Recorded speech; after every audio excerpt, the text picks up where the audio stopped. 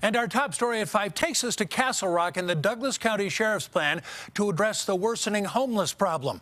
It would involve taking some people to other cities along the Front Range. The sheriff says to get the help they need. CBS 4's Michael Abeyta in Douglas County right now. And Michael, the sheriff says he is seeing more people who are homeless than ever before.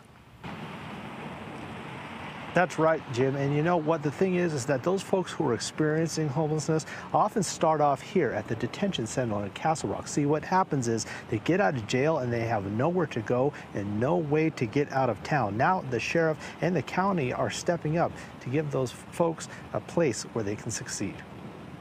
And probably the last year, it has really started to um, be I'm going to say much more significant. Douglas County Sheriff Tony Spurlock knows they don't have a place to house or provide services for the homeless in his county.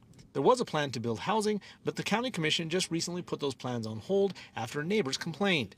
Sheriff Spurlock knows he has to do something. Let's help them. Let's find out what they need and where can we get them to where that need is best provided for them. He's working with the County Department of Health and Human Services to create an outreach program.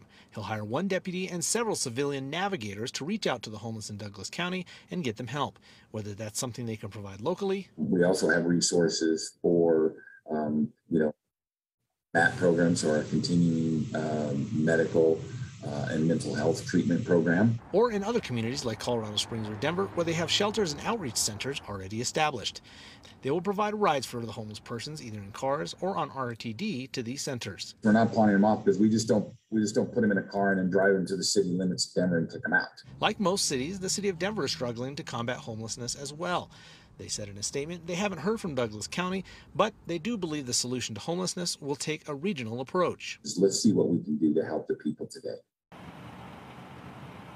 Now, the city of Denver's Department of Housing Stability also said in that statement that it takes regional partnerships to help ensure that episodes of homelessness are rare and brief occurrences. Douglas County hopes that this program will do just that. In Castle Rock, Michael Abeyta, covering Colorado First.